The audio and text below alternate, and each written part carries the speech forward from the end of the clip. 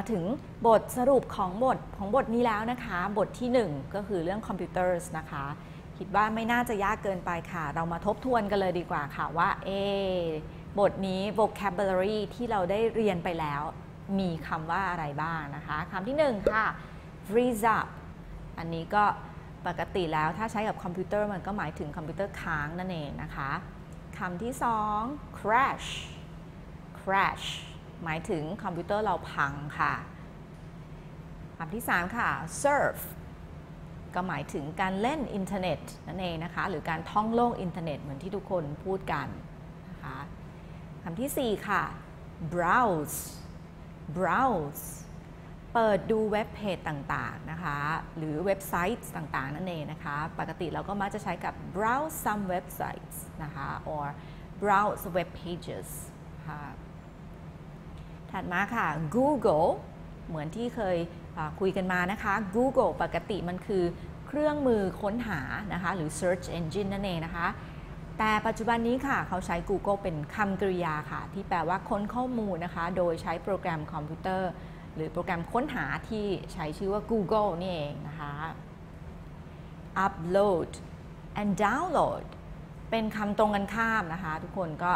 รู้จักกันเป็นอย่างดีนะคะ upload คือถ่ายโอนข้อมูลขึ้นไปไว้ในแม่ข่าย ส่วน download ก็คือถ่ายโอนข้อมูลลงมาค่ะ เพื่อบันทึกไว้หรือเก็บไว้ในคอมพิวเตอร์ของเรานั่นเองนะคะ turn on turn off turn on and turn off ก็เป็นคำตรงกันข้ามเช่นเดียวกันนะคะที่สำคัญห้ามลืมนะคะ turn on and turn off จะเอาไว้ใช้กับเครื่องคอมพิวเตอร์ แล้วก็ เครื่องใช้ไฟฟ้าเท่านั้นค่ะ เราจะไม่ใช้กับ turn on a window turn on a door อย่างนี้เราไม่ใช้นะคะ ถ้าใช้ turn on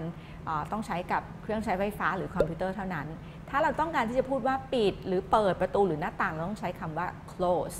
and open นะคะ close and open สุดท้ายค่ะ install คือคำว่าติดตั้งนั่นเองนะคะ to install ก็คือเพื่อการติดตั้ง หวังว่าทุกคนคงได้คะแนนเต็มนะคะ จากการทำแบบฝึกหัดค่ะ ส่วน grammar ค่ะ grammar ที่ใช้นะคะ ก็สรุปก็คือเป็นเรื่องของการอธิบายว่าเอสิ่งนี้สิ่งนั้นใช้เพื่ออะไรนะคะ มีตัวไวยากรณ์อยู่ 2 ตัวนะคะ คือ to ที่ตามด้วย infinitive หรือ to บวก verb ช่องที่ 1 นะคะ กับ for ตามด้วย gerund หรือ for ที่ตามด้วยคำกริยาที่เติม ing นั่นเอง ตัวอย่างที่เรายกไปเมื่อสักครู่ก็คือ Jenny uses the computer to pay her bills และ Jenny uses the computer for paying her bills ความหมายของสองประโยคนี้เหมือนกันเป๊ะเลยนะคะ เพียงแต่ว่าไวยากรณ์ต่างกันแค่นั้นเองนะคะ ถ้าจะใช้ to ต้องตามด้วยคำกริยาช่องที่ 1 นะคะ ถ้าจะใช้ for ต้องตามด้วยคำกริยาที่เติม ing ค่ะ ค่ะสำหรับบทที่ 1 ก็จบลงแล้วนะคะ เรื่องคอมพิวเตอร์ค่ะ อย่าลืมนะคะมีคำศัพท์ทั้งหมด 10 คำ แล้วก็ไวยากรณ์ที่ใช้เพื่อแสดงวัตถุประสงค์ของการใช้สิ่งใดสิ่งหนึ่ง เอาละค่ะ หวังว่ามันคงไม่ยากเกินไปนะคะ เอาไว้เจอกันในบทที่ 2 ค่ะ สวัสดีค่ะ